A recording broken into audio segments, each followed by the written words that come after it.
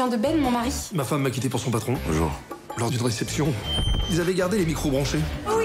Tout le monde l'a entendu se faire. euh, Démonté. Il y a toujours pire. Et Ben, c'est le pire. Salut à tous, bienvenue sur TV7. Bonjour Arnaud Ducret. Bonjour. Comment allez-vous euh, de façon plutôt matinale?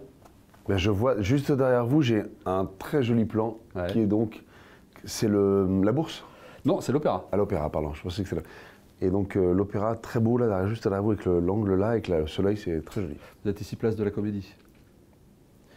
Que demander de mieux Bah, que demande oui, exactement Que demande le peuple? Que demande le peuple? Merci d'être avec nous dans Open à l'occasion de l'avant-première bordelaise du nouveau long métrage de Michael Youn, euh, qui est passé sur ce fauteuil juste avant vous. Euh, Divorce Club, vous avez le premier. Ah, c'est ça cette odeur C'est ça l'odeur, ouais. Ah putain, j'ai- semblait. Il y avait une odeur un peu bizarre et c'est Mika. D'accord, ok, c'est bon. Vous avez le premier rôle. Quel plaisir de vous voir euh, vous éclater dans cette comédie. Alors on s'éclate avec vous. Merci. Ouais, vraiment. Je crois que les gens, en sortant du film, euh, ont envie de faire la fête. Ouais. Et donc moi, hein. j'ai revu le film hier et j'ai fait la fête. Vous l'avez revu en entier avec, avec, euh, avec, les, avec les spectateurs de Bordelais non, en revanche, vous savez quoi C'est comme pour c'est ça qu'on fait ce métier, c'est-à-dire que moi j'avais mon one man show. Quand j'ai mon one man show, je sens l'énergie des gens. Hmm. Et hier, à Mika, je lui dis, voyons la. Comme on fait beaucoup de promos et beaucoup de, de- de- de salles, on vient voir les gens et tout.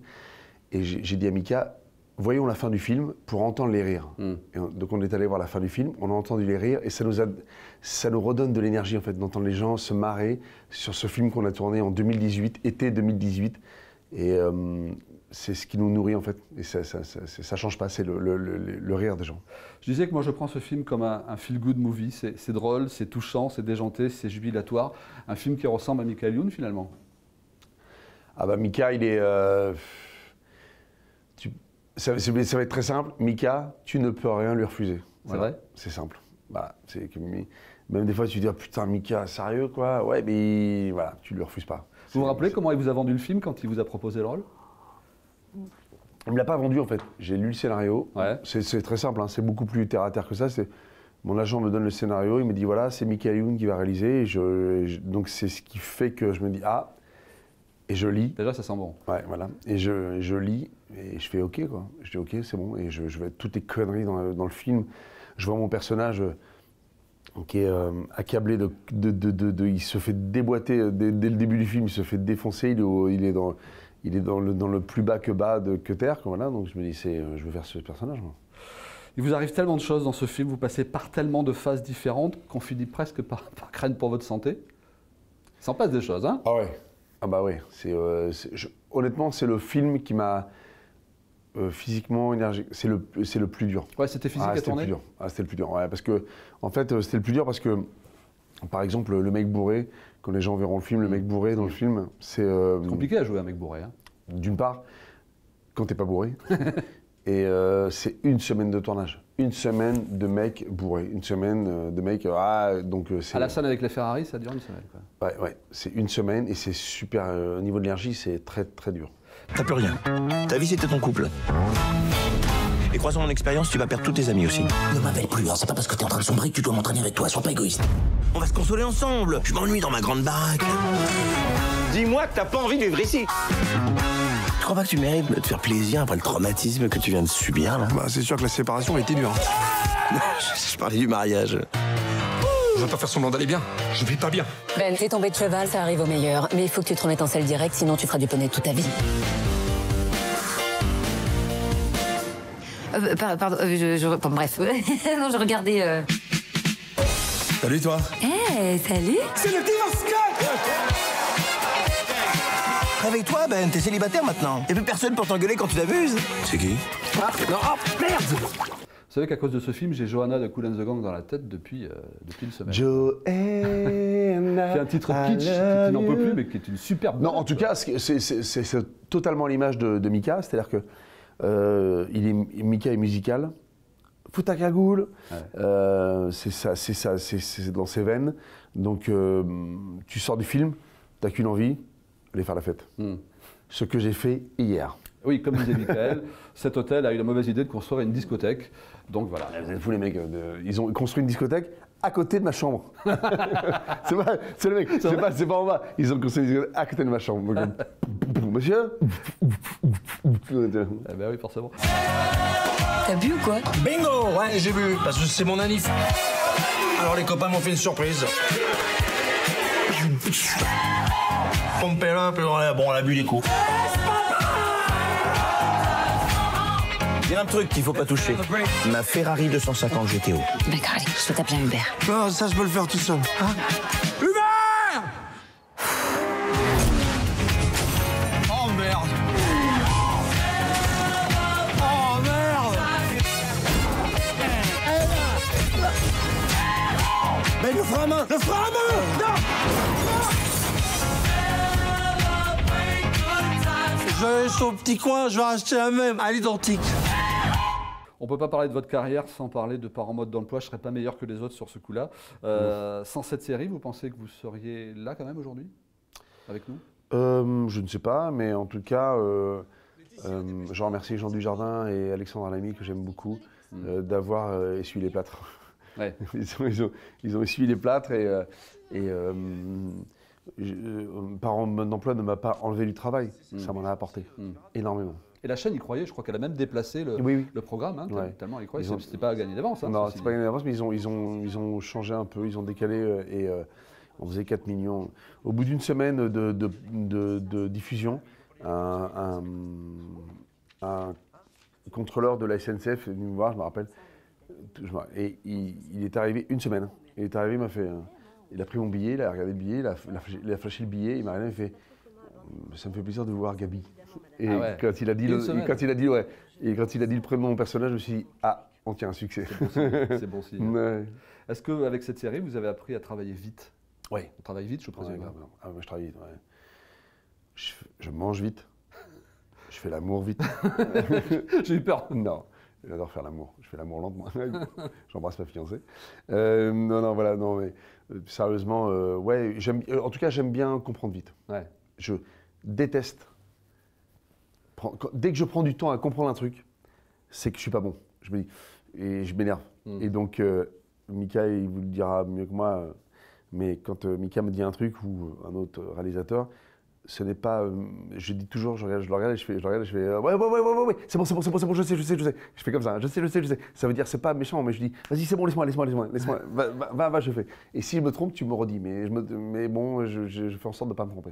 Parmi les gens importants dans ce métier, il y a Jamel, qui vous a toujours dit de penser Oui. à l'essentiel.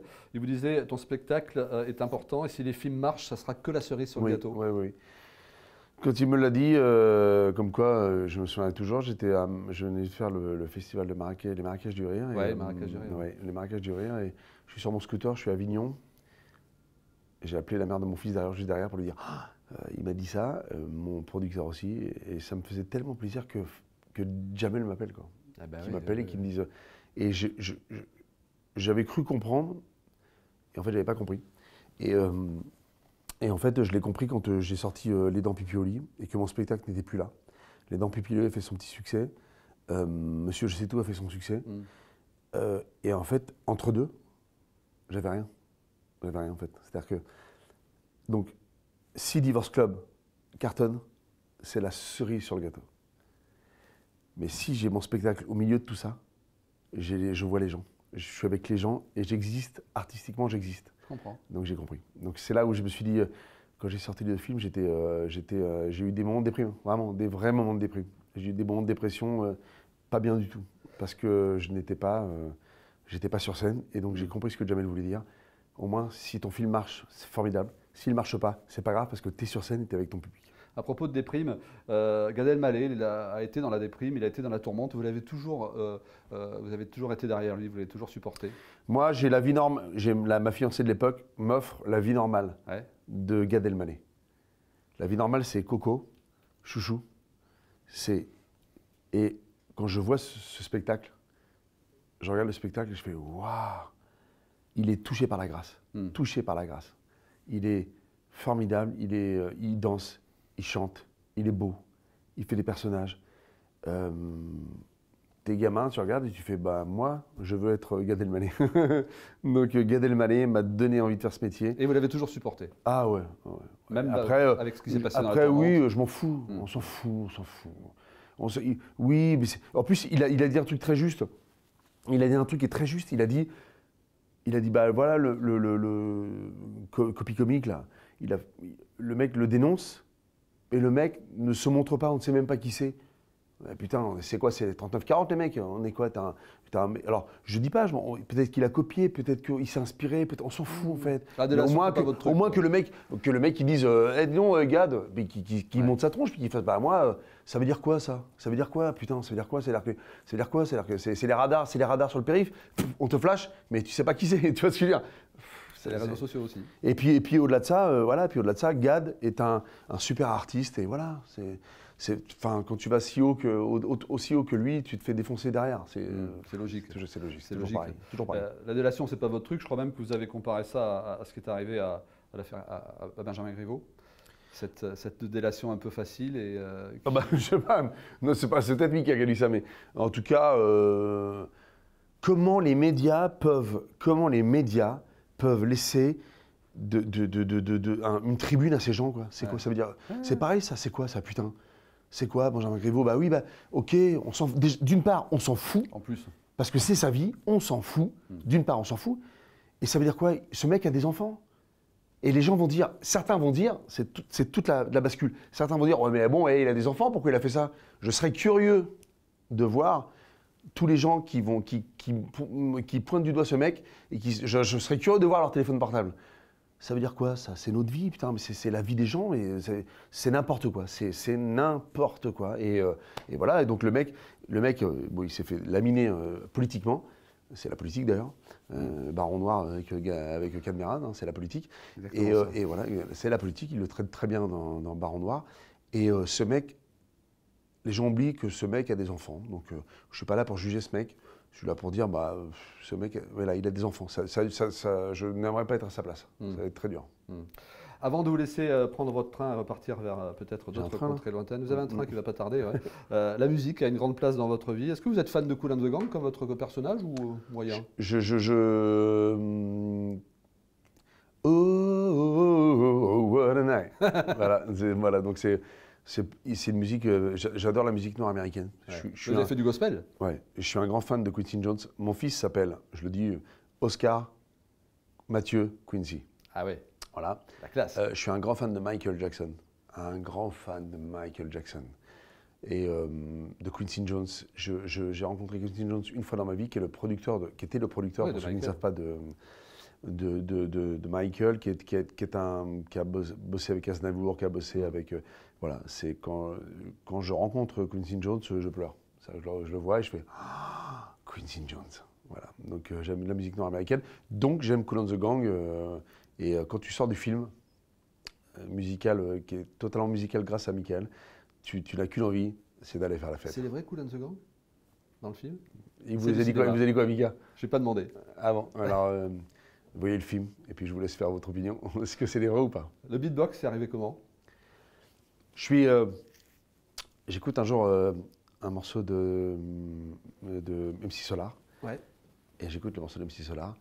Et euh, c'était euh, Caroline qui était extraordinaire. Mmh, mmh. Et puis hein, j'écoute euh, NTM avec un beat un peu plus fort. Et moi, quand je faisais du beat à la base, c'est. Ok Et puis à un moment, j'écoute, puis je fais. Et en, en grossissant la gorge et tout, j'ai tout seul, dans mon, dans mon, je me souviens toujours de ça, tout seul dans mon lit, j'ai fait. Et j'ai fait, ah putain, et j'ai j'ai trouvé ce son comme ça. Parce que là, il y a la basse, il y a la grosse caisse, il y a la caisse claire Ouais, et ouais, il y a le scratch. Il y a tout.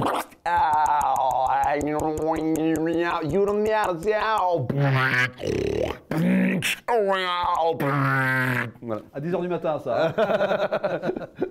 c'est vrai, j'ai tout seul. vous vous rappelez de votre premier rôle à la télé en 2008 C'était dans le téléfilm Fortune sur Arte. Vous étiez un petit magouilleur, il paraît. Ouais, je faisais un gitan avec euh, Salim Keshiouch et, euh, et euh, ma, ma première expérience cinématographique. Et j'en souviens toute ma vie puisque c'est, je tourne le deuxième épisode et Michael Jackson décède. Ah ouais? Voilà, ouais. Michael Jackson décède, et donc je me souviens toujours de ce moment. Je crois qu'on nous dit que c'est terminé. Merci Héloïse. Merci en tout cas d'avoir été. C'est moi qui vous remercie parce que Open sur TV7. ça fait plaisir. de- on fait des, on fait des, des- émissions et là on fait, un- une, on fait une, petite, euh, une petite presse avec vous et euh, vous gérez très bien votre interview. Ah bah, c'est très sympa. Merci beaucoup.